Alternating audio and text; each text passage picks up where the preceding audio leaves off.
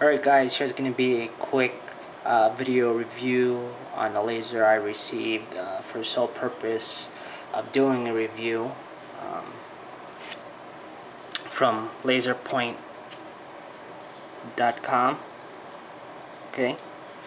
I will have a link in the description uh, to this package deal including uh, a link in the description for a full detailed review that I did over on LPF. Uh, basically, uh, go check that out uh, to get a more overall uh, view of the laser. Uh, this is just going to be a demonstration to see uh, what you get and what to expect. But for a more detailed review, check out the links below. Okay, so what you get in this package deal. Um, it sells as a 1 watt laser.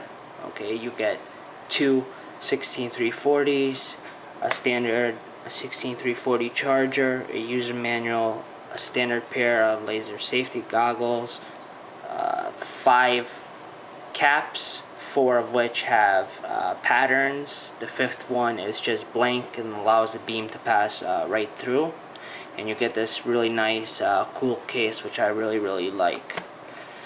Okay, so let's put that aside and uh, take a look at the laser. Uh, basically, as you guys can see, it looks like uh, the traditional uh, mini Arctic version. However, uh, this appears to be the upgraded version. Well, it is the upgraded version. The original mini Arctic was much smaller um, and also much lighter than this, and in my opinion, much cheaper. This way is nearly three times the amount of the original version did and it's also about a couple of inches uh, longer as well. Uh, overall the threads are also much better than the original version. Uh, it also is case positive so make sure you don't put the cells in wrong. So positive of the battery goes to the tail cap the anodizing is very sharp. It's uh, I see no damage whatsoever upon receiving the laser. Uh, it has a glossy anodized finish, not that flat uh, matte black that you normally see on cheaper versions. Okay. Uh, like I said, this laser sells as a 1 watt laser. So let's do a quick uh, power test.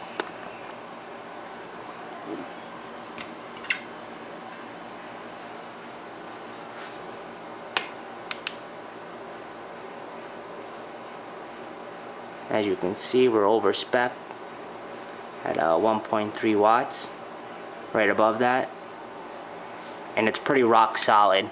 The diode is sitting in a brass uh, heatsink module. It's not an actual like 12 millimeter module. It's a larger uh, brass heatsink that sits within the head press fit and then the diode is press fit into that uh, the driver is a linear driver. It's set at 1.27 amps, uh, which is uh, pretty good for the power that you're getting out.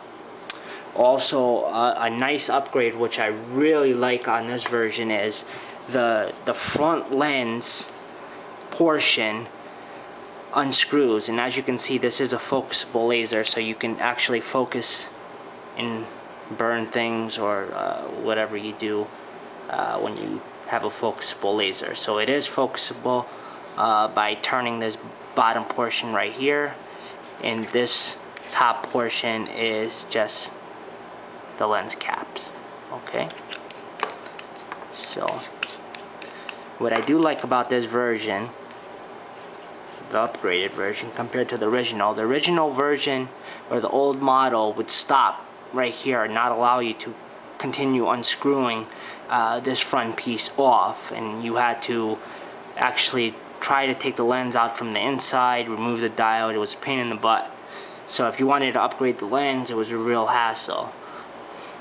Now, it's very simple to upgrade the lens on this version. Simply unscrews it and uh, with a pair of tweezers or pliers you can unscrew this lens here and switch it over to a higher power lens if you desire to do so okay you can upgrade to a G lens and get up to uh, I believe it's 30 to 35% more uh, power uh, out of your laser. Uh, I tested it in, in the test review below.